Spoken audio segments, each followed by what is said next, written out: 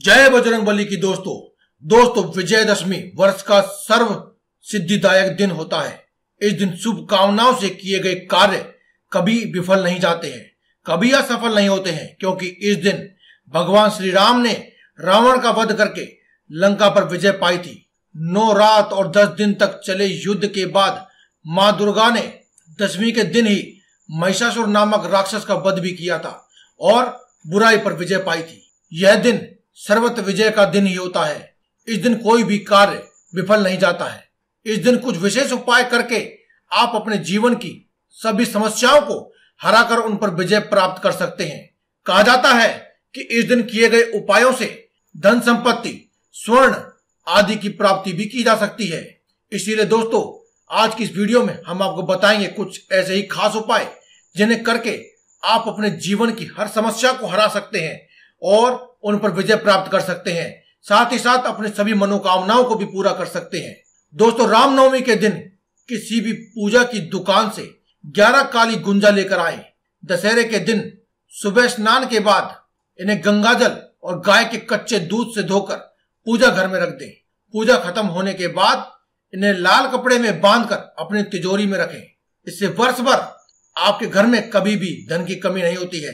पूरा साल आपके घर में धन आगमन के सभी राग मार्ग खुले ही रहते हैं। अगले वर्ष इस प्रयोग को दोबारा से करें और पुरानी गुंजाओं को जल में विसर्जित कर दें। इसके अलावा दोस्तों, विजयदशमी के दिन झाड़ू के विशेष उपाय, विशेष रूप से फल देने के लिए जाने जाते हैं। झाड़ू को धन की देवी माँ लक्ष्मी का प्रतीक माना जाता है।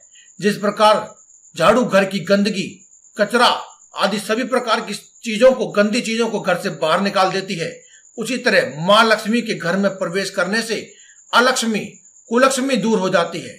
इसीलिए झाड़ू के उपाय, धन संबंधी समस्याओं को दूर करने के लिए खास तौर पर माने जाते हैं। दशहरे के दिन शाम के समय, रावण दहन के बाद किसी भी मंदिर में एक नई फूल वाली झाड़ू ऐसी जगह को रखाए जहाँ पर से आपको रखते हुए कोई भी देख ना ले। झाड़ू का यह गुप्त दान बहुत ही धन प्रदायक होता है। दशहरे के दिन, गौधुली के समय ओम अप्रजताय नमः। इस मंत्र का 21 बार जाप करने से हमेशा आपको हर जगह विजय ही विजय प्राप्त होती है। चाहे व्यापार में हो, परीक्षा में हो, या फिर नौकरी पेशा आदि व्यक्ति के जीवन में आ रहे संकटों पर विजय प्राप्त करना हो, जीवन में सभी संकटों का नाश हो जाता है और आपको हाथ लगती है तो सिर्फ़ जीत ही जीत। इसके अलावा दोस्तों, दशहरे के दिन फिटकरी के उपाय भी किए जाते हैं। दशहरे के दिन एक फिटकरी ले।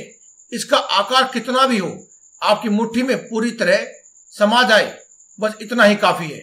घर के सभी सदस्यों से इस पर हाथ लगवा ले और घर की छत पर इसे अपनी पीठ के पीछे फेंक आए।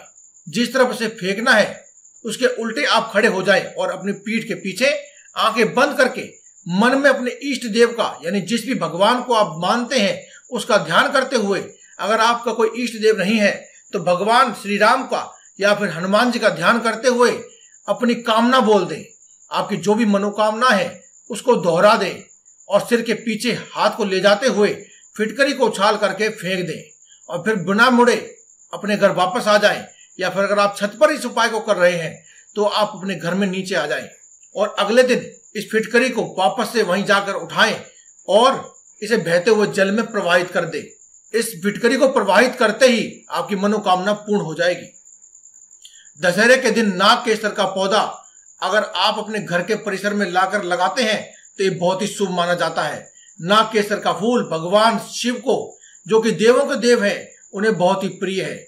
इससे वे शीघ्र प्रसन्न हो जाते हैं और इस पौधे की नियमित सेवा करने से आप यह समझ लीजिए कि जैसे आप साक्षात भगवान शिव की ही सेवा कर रहे हैं और ऐसा करने से आपको बहुत ही शुभ फलों की प्राप्ति होती है। जैसे जैसे ये पौधा बढ़ता है वैसे वैसे आपके घर में अचानक ही धन और कुबेर के खजाने की तरह धन आपके घर में बढ़ता ही रहता है। दशहरे के दिन एक लाल कागज़ की छोटी छोटी चौकोर पर्चियों पर राम का नाम लिखकर, आटे की छोटी छोटी गोलियाँ बनाकर इसे इसके बीच में दबा दें और मछलियों को खिला दें। यह उपाय इतना कारगर है और प्रभावशाली है कि यह उपाय करने मात्र से करने के तुरंत बाद ही आपके घर में कभी भी आपको किसी प्रकार की गरीबी का सामना नहीं करना पड़ता। दशहरे के दिन आप घर के मुख्य द्वार को साफ़ स्वच्छ करके उस पर फूलों की बंदरबान सजाएँ, रंगोली बनाएँ और घर में शुभता का संचार और सकारात्मक ऊर्जा को अपने घर में बढ़ोतरी दे। तो दोस्तों, ये थे कुछ उपाय जिन्हें आप दशहरे के दिन कर सकते हैं और अपने घर में से नकारात्मक ऊर्जाओं को और गरीबी को हमेशा के लिए अपने घर से बाहर कर सकते हैं।